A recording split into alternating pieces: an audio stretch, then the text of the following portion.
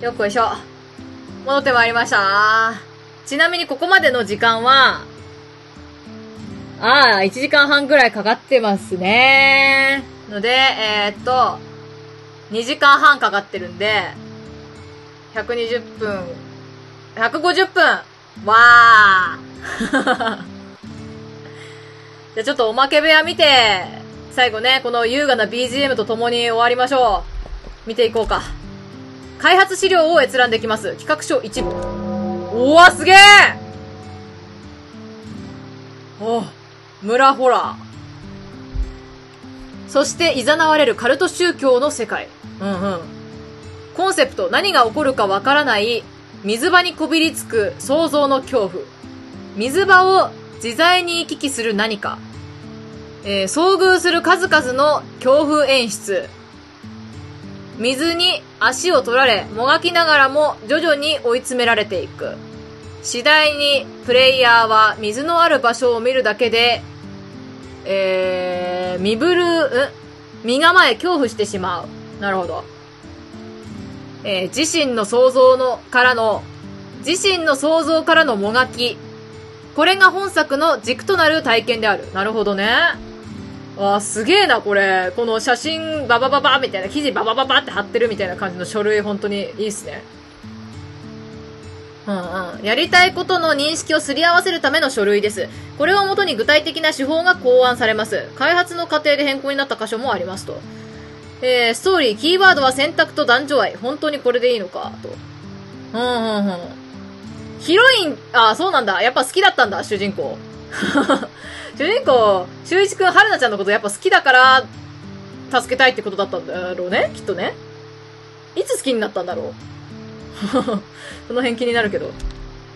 なるほどね。で、進行資料1。おおおおおえーと、適切な箇所で適切なテンションになるかを確認するための書類です。意図したものと異なる結果になる場合は、細かい調整が入ります。開発の過程で変更になった箇所もあります。えー、なにこれすげえあー、なるほど。ここが一番怖くなるぜっていうシーンが5ってことか？すげえすげえ。面白い。スタッフ間での、えー進行のイメージ、認識をすり合わせるための資料。えーどこでどんな感情にするかを明確にして意見交換や調整の際の指針にします。へー。あー、なるほどなるほど。あ、言うてもそんなにでかいマップじゃなかったんだな。なんかすげえ広く感じたけど。うんうんうん、座敷炉を、うんうん。あ、あったね、こんなね。はいはいはい。ええー。あ、ピアノある。作中の BGM に変更できます。なるほど。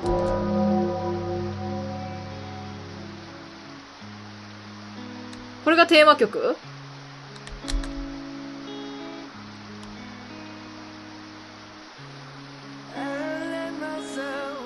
おえうわあ歌い出した。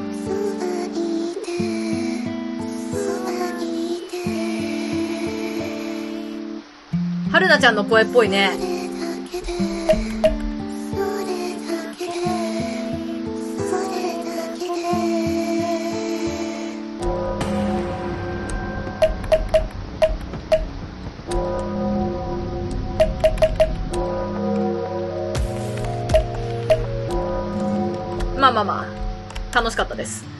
ート。週一あ週一くんってこんな見た目してたんだ。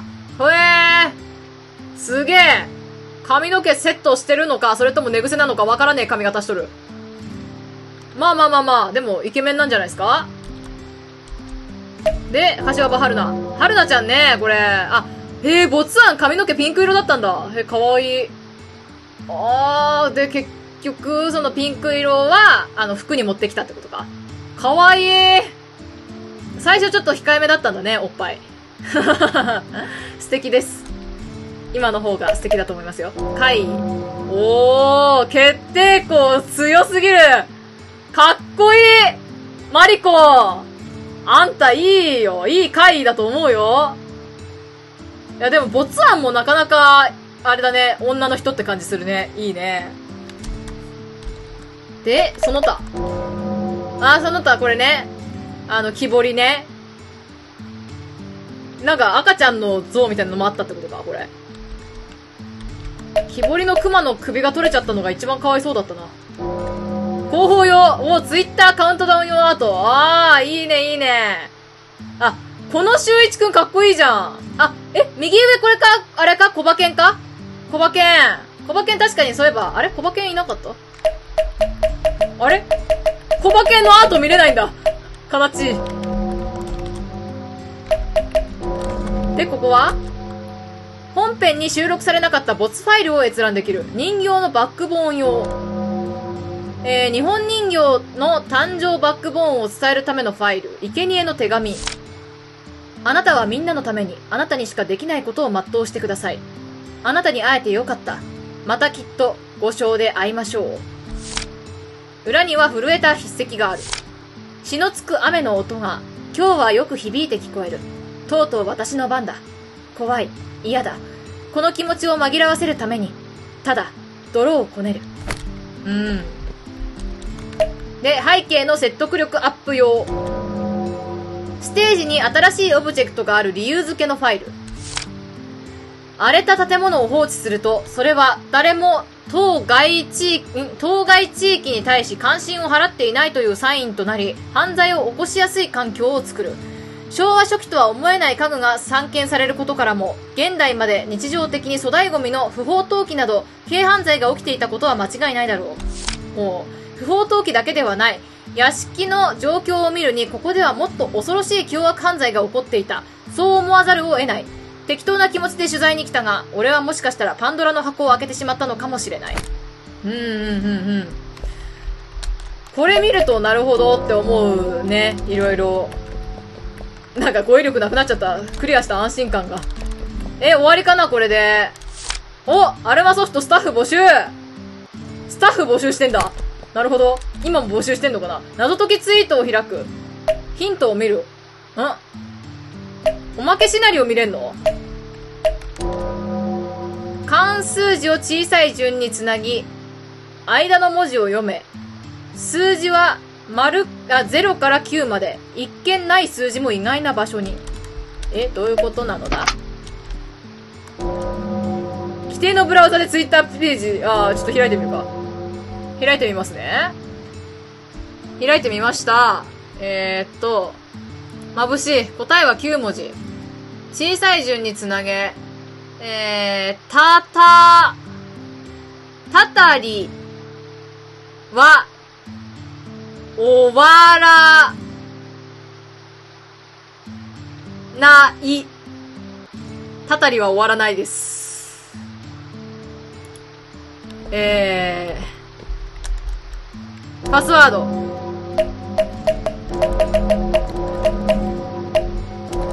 開きました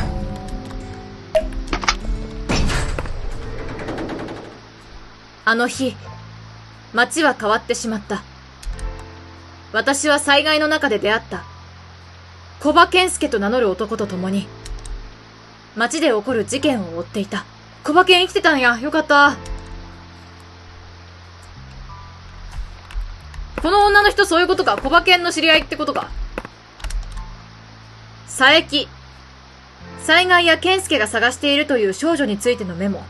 健介は寝る間も惜しんでいつも熱心に調べている。あー。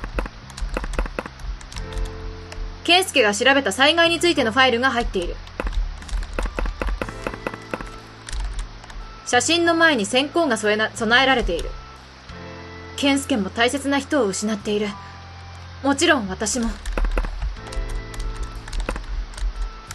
あー、じゃあ、これ追ってるのは、小馬犬は、生きてるかどうかとか、助けたいからとかで追ってるんじゃなくて、週一、週一くんのせいで、その、春菜ちゃんを助けたせいで、こんな災害が起きて、自分の家族を失ったことで、その二人を恨んでしまってんのかな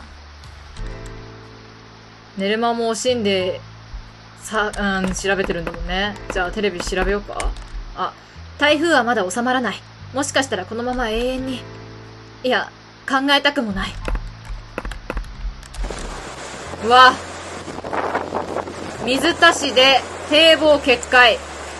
市庁舎提供午前10時頃自衛隊救助ヘリ悪天候のため出動できず私たちの生活は完全に破壊されたこの忌まわしい災害によってん？来てたのか佐伯例の現場はどうだった？ひどいものだわ。災害以来事件が絶えない。山中に残された複数人のご遺体。大学の山岳部員のものだと分かったわ。山岳部？行方不明の山岳部員というと？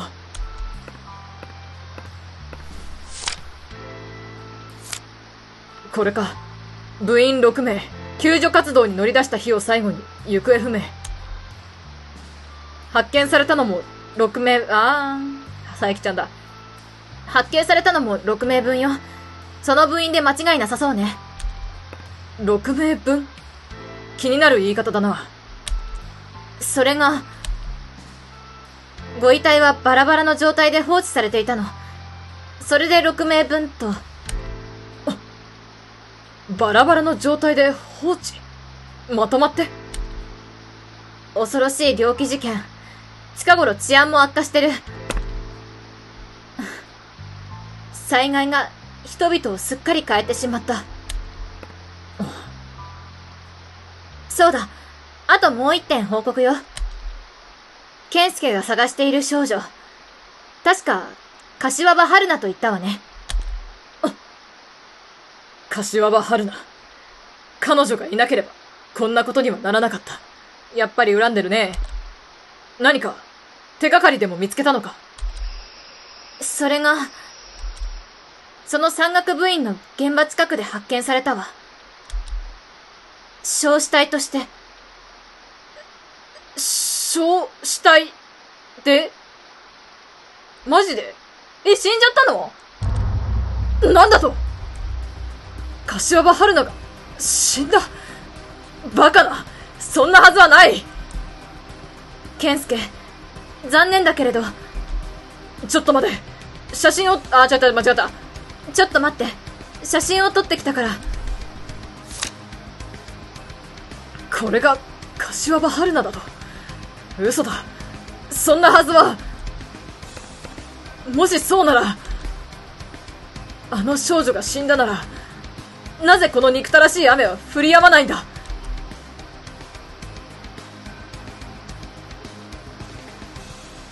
あの柏葉春菜が死んだ。だとすればこの雨を止める方法はもうなくなってしまったのか。信じられない思いで俺は遺体のある現場へと向かった。音敵呵責の行方。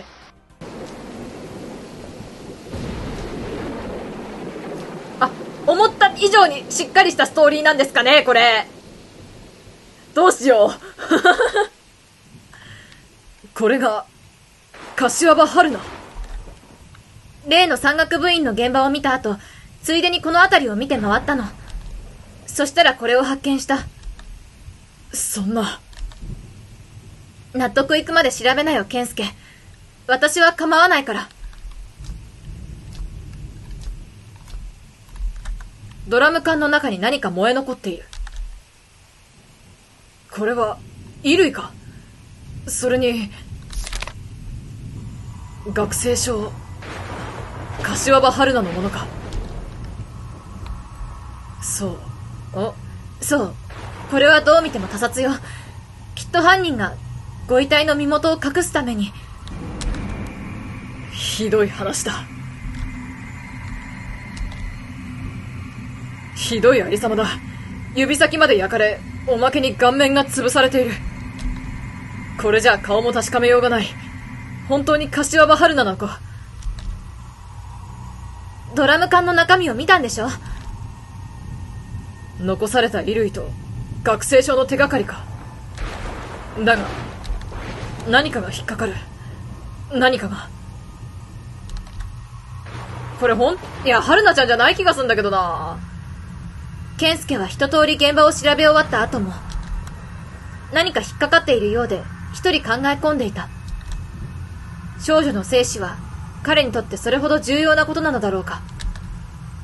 健介は柏葉春菜との関係を私には教えてくれない。よほど話したくないことなのか、それとも私が信頼されていないだけなのか。ともあれ、健介の柏葉春菜に対する関心は、ある種の執着、編集とも呼べるものだった。健介、一体何が気になってるの？あまりに不自然だ。君はおかしいと思わないのか？だから何が？よく考えてみろ。何か気づかないか？現場に残された不自然な点について。不自然な点？小死体学生証。え、学生証かな？例えば、焼け残った学生証？これを疑ってる？ああ、そうだ。どうにも引っかかる。学生証の気にな佐伯さん。佐伯さんのことを間違って小馬券で読んじゃう。学生証の気になる点。それって、本当に春菜のものか、燃え残っていた。燃え残っていた。学生証が燃え残っていたこと。そう、その通りだ。さすが察しがいいな。そもそもこのご遺体、顔が潰されているのはなぜだ？全身が焼かれ、おそらく指紋や毛髪の照合もできない。考えられるのは、遺体の身元を隠すため。それはもちろん、被害者の身元を隠すため。そうだ。それ以外に考えられない。衣服や学生証を燃やしているのも、身元を隠すためだと考えていたが、しかし、こちらは中途半端に燃え残っている。なぜ犯人は被害者を示す証拠が燃え切ってからこの場を去らなかったんだ？証拠隠滅にしてはあまりにお粗末だ。それに参道とはいえ、街灯のある明るい場所に放置するなんて、まるで見つけてくれと言わんばかりじゃないか。つまり？間違いない。これは偽装工作だ。犯人の目的は、遺体を柏葉春菜のものであると誤認させることだ。だからわざと、燃え残った衣類や身分証を現場に残したまま立ち去ったんだ。そう考えれば納得がいく。つまり、あー、佐伯ちゃん。つまり、このご遺体は別人のものだと。その通り、柏葉春菜は生きている。ちょっと待って。それならこのご遺体は一体そこが問題だ。そうだ。まさか。いや、修一くんとかだったらびっくりするんだけどね。例の山岳部員の遺体が発見されたのも、この近くだと言っていたな。ええ。部員6人が全員、ひどいもので、バラバラに分割されてね。なぜバラバラだったんだ？まさか、遺体の数を？その遺体の中に、女性は確認できたか何ですって写真中央、山岳部唯一の女性部員だ。女性のご遺体、どうだったかしら中には頭部のないご遺体もあったから。でも現場には確かに6人分のご遺体が。頭部のない遺体。やはりそうだ。間違いない。これは偽装工作だ。え？そう言うと健介は持っていた手帳を取り出し棒人間を描いてみせた。6人の山岳部員。うち1人がこの焼死体だとすると残りは5人。いいか。よく見てろ。おおおおおおおこれは？ええ？6人分に見えなくもねえよってこと？ま、有名な数学のパズルだ。5体の体を組み替えて6体に見せかけたんだ。これなら頭部がなかったのも当たり前だ。そんな、むごい。部員全員を殺害したとは考えにくい。おそらく事故で死亡した遺体を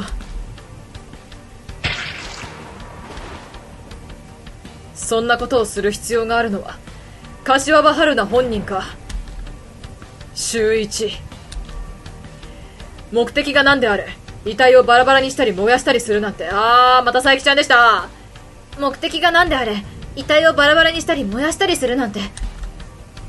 あの二人ならやりかねない。自分たちが生きていくために。いやー、どう、いやー、自分たちのエゴだよな、これな。うわー、本当にやってる木場さん、騙されてくれただろうか。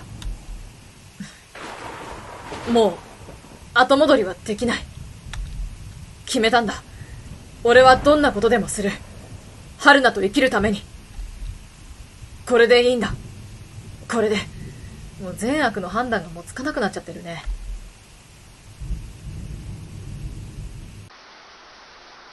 改めて山岳部のバラバラになったご遺体を調べ直すと、そこに女性部員のものとみられる部位は全く残っていなかった。女性用の衣服や登山靴が現場に残されていたにもかかわらずだ。どうやら、健介の推理が正しかったらしい。分割した遺体を野生動物が食べてくれたら万々歳。そうでなくても、俺たちを惑わせて、時間稼ぎできれば十分、と。そんなところか。やはり、柏葉春菜は生きている。つくづくしぶとい奴らだ。ねえ、気になっていたんだけど、その春菜という少女、本当にただの知り合いなの？わかったわ。これ以上は詮索しない。でもいつか、いつか絶対、話してもらうわよ。そうだな。いつか話そう。でもまだその時じゃない。あくまでこれは、俺の問題だ。あいつらを止められなかった、俺自身の。わかった。付き合ってあげる。じゃあまずは、山岳部員のクレジットカードをたどりましょう。何？世の中何をするにもお金がかかるわ。柏葉春菜が生きているなら、山岳部員のクレジットカードを使おうとした形跡が残っていてもおかしくない。行かないの？まさか。必ず終わらせてやる。それが俺の責任であり、使命だ。終わり。音出来。あー。なるほどなこればっかりは私は小馬券を応援してしまうかもしれないな確かにさ、人間って結局は自分をね、一番にとか、その好きな人を優先的にね、考えてしまうんだけどさ、でもそれを、その、そのね、自分たちのエゴのせいで、他の周りの人が多数被害に遭っていいわけではないじゃん。そうなってしまったら、その引き金というかさ、その止められなかった小馬券が、自分自身をこう追い詰めちゃったりとかさ、こうどうしてもあの二人を止めたい、どうにかして自分の手で終わらせないといけないって思っているっていう思いはね、すごく分かっちゃうから、個人的には私、小馬券の方を応援してしまうかもしれない。うわー。このね、この災害が早く終わるといいね。でもそれはまあでも二人の死を願うことではあるんだけどさ。うーん。なんかすごくもんよりしますけど、おまけいかがだったでしょうか？これね、多分おまけパートはおまけパートで分けてると思うので、うん。楽しんでいただけたなら幸いでございます。あー、よかったね、無事クリアできて、改めて。もう、最初の頃叫びすぎて、もう全然進めなくて、もう無理だと思った。けど、まあ、なんとか一人でクリアしましたよクリアしたよ褒めて はい。ではね、アルマソフトさんのね、ゲーム、他にもまだありますし、今日中島の本編が8月末にも公開される予定ですので、まあ覚悟が決まれば実況していこうと思いますので、その時はまたよろしくお願いします。ということで、え、他にもね、あの、私メインはね、ホラーゲームとかではなく、あの、ストーリー系重視のゲームをね、実況しておりますので、そちら見ていただけたら嬉しいな。一応声優やっておりますのでね、あの、そっち、真剣に芝居してる方を、ちょっと、ご覧いただけたら嬉しいです。ってことで、また別の動画でお会いしましょう。お疲れ様でした。バイバーイ。